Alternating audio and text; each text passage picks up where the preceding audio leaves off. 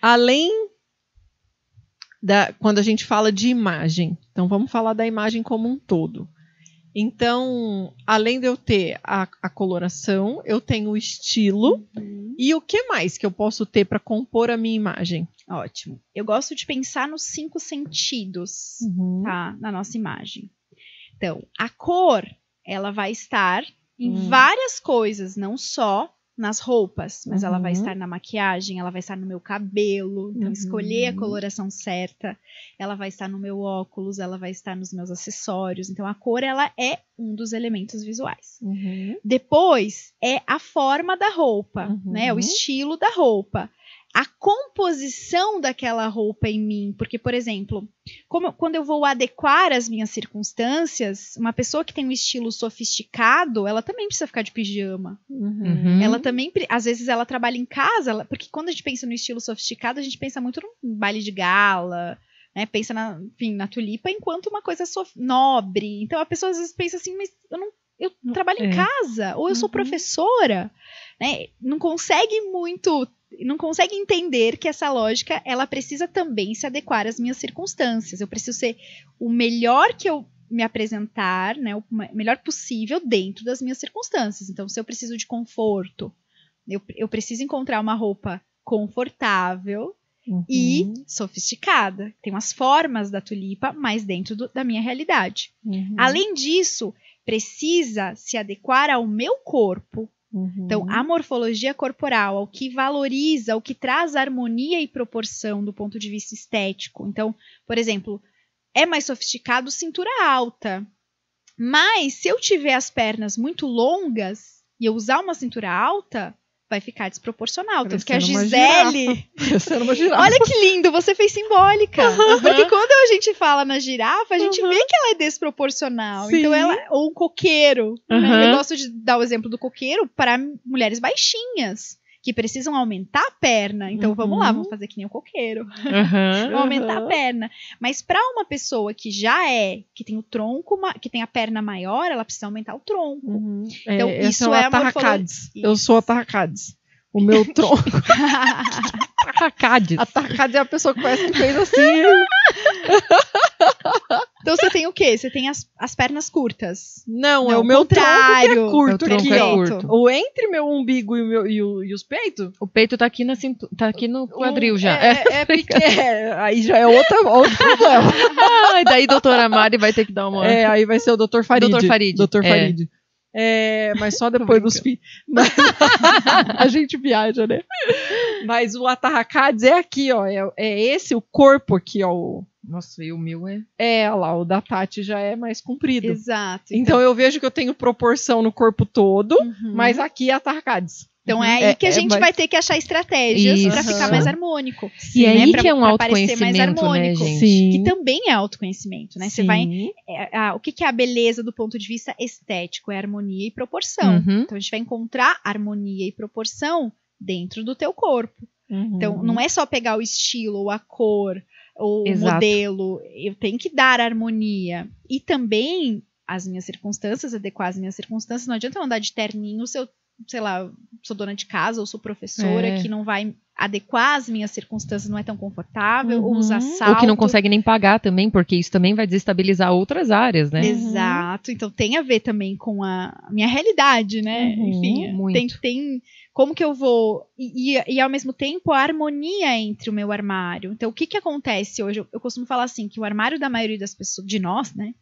É uma, um quebra-cabeça com peças que não se encaixam. Uhum. Então eu- tenho uma, uma calça de, uma, de um estilo, eu tenho um sapato de outro estilo. Vocês querem vir passar o dia amanhã aqui em casa? Opa! fazer uma revolução. Porque é isso, quando você começa a entender a lógica dos tecidos, por exemplo, linho é um tecido natural.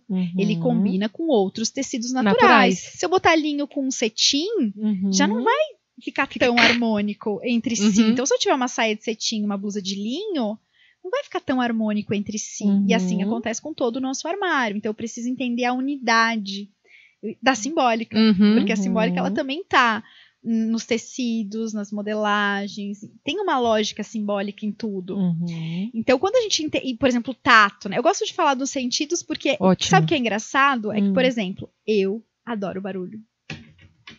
Pulseira, a calça que faz barulho. Gente, eu não dou conta disso, não. Tá vendo? É, inverno, eu, Isso! eu tenho que desligar até o som. Eu não ponho nada, ó, eu não ponho Eu nada porque também. E eu falo, gente, eu vou tudo que é preso, tudo que é bem seguro. Eu já não uso brinco que mexe, já não uso cola, que é É. pra não fazer barulho. Bingo. E aí, porque você E aqui, ó, quando eu vou silêncio. colocar o braço aqui, eu já vou o com silêncio calma. também vai estar na roupa. Gente, olha isso. Não, Ó, se, ó, se, eu, se ó, a minha calça estiver fazendo cheque, cheque, cheque, eu já jogo fora. Isso. E aí você vai comprar. e Se tu não entende isso, você vai continuar comprando roupas que fazem barulho e nem saber por que, que você não tá Uhum. gostando daquela roupa. Uhum.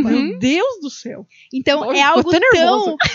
É algo tão profundo. É muito, é que muito. parece bobo, mas não é bobo. O tato.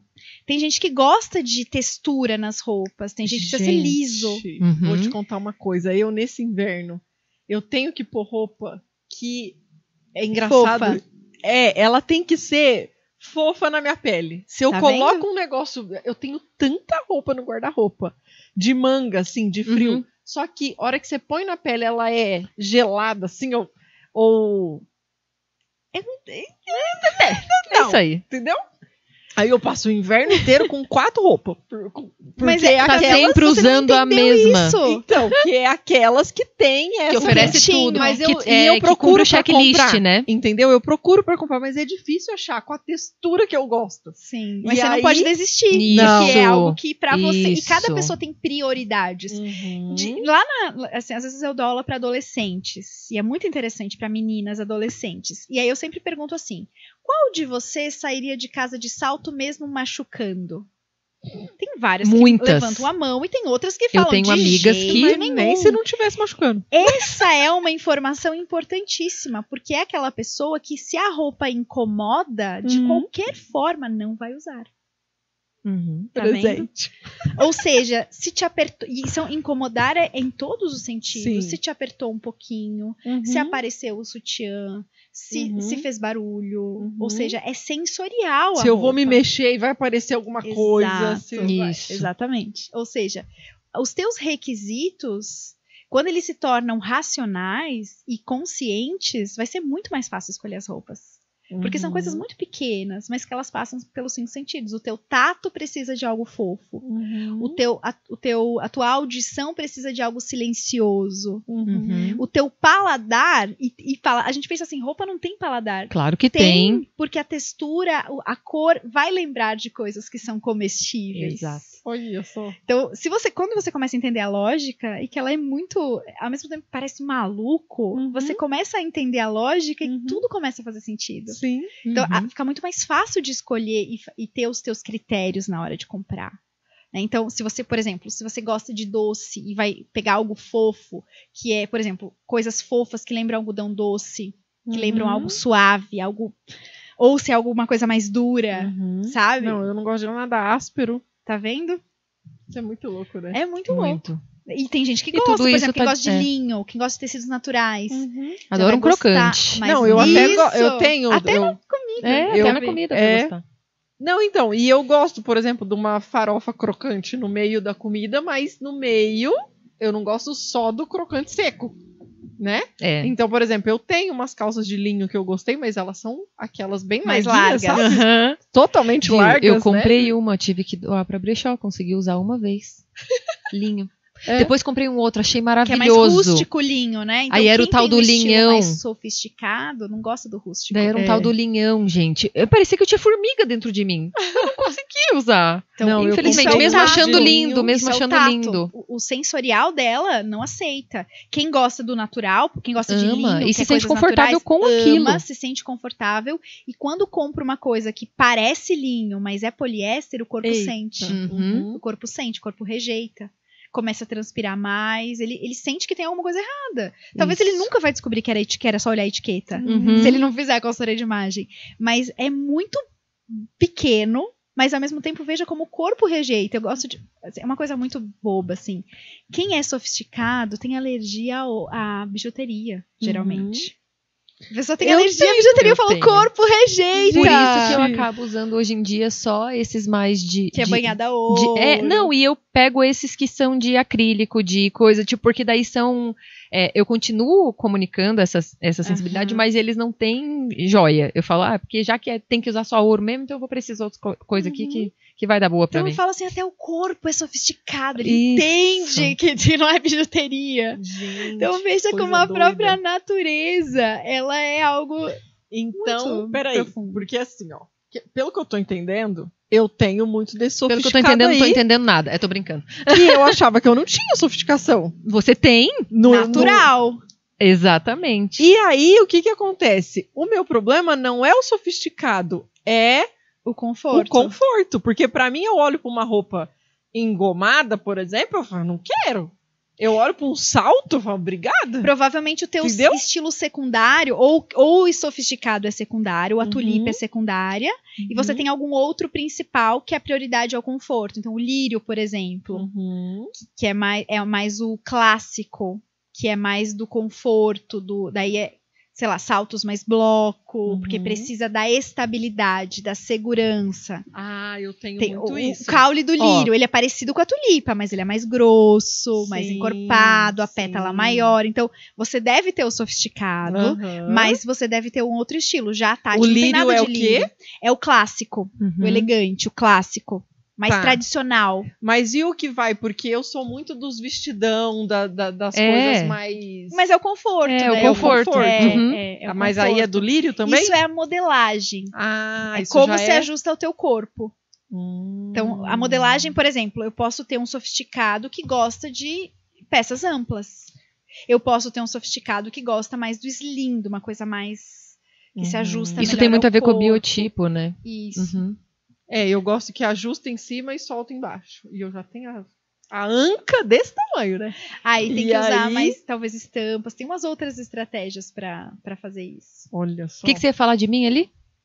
Ah, que o teu, por exemplo, a Tati tem, é sofistic, tem um estilo Muito. sofisticado, Hum. mas ela já vai mais pro criativo, pro dramático, ela vai pra Uhum. estrelícia. Sim. Que é o que eu chamo de estrelícia, que é uma coisa mais diferentona, mais Uhum. Tem diferente. sempre uma coisa aleatória ali no look. Então, e no caso da estrelícia, ela tem um caule super grosso, super firme, super. E então ela precisa de estrutura nas coisas. Sim. Nossa, eu não Tipo, consigo usar tecido leve. E eu já Tecido amo esvoaçante. tecido leve. Eu também amo Eu não tecido leve. posso, eu Então, não posso. veja, mim, assim, ó, não um marca outro nada. junto, né, Uhum. que não é o mesmo Aham. que o dela. o Então meu você- tudo é grosso, tudo é. Tudo, Ai, tudo eu não marca. coisa grossa. É. Tá não, que vendo? nem aqui, ó, esse casaco. Eu tô confortável, mas pra mim já tá me. Entendeu? Tá duro demais. Já fica me. Eu, não, pra mim tem que ser tudo macio. Tudo. Tá vendo? Então tem, tem um outro estilo que não é o mesmo. A Tati vai do sofisticado pra, pro, pro, Pro- pra estrelícia. Ela vai É. da tulipa pra estrelícia. Isso. Você já vai ou pro lírio ou pra margarida. A margarida é a flor do campo. Então é muito Isso. natural. Aí Uhum, sou eu. uhum. É, Aí pé no eu. chão, Aham. descalça, E você viu? correndo. Aí Isso que é eu. muito legal da gente perceber aqui, porque isso realmente é um processo de autoconhecimento profundo pra você entender e fazer o checklist, porque todo mundo vai falar, ah, todo mundo gosta de conforto. Tá, mas o que que é confortável pra você? Isso. Pra aquela menina que já é desde criança. Isso. Aham. Pra ela não é difícil. É o que eu tô tá falando pra mim. Isso. Tá de salto e Exatamente. doendo, né? Sim. Ela, ou seja, o conforto pra cada pessoa é diferente.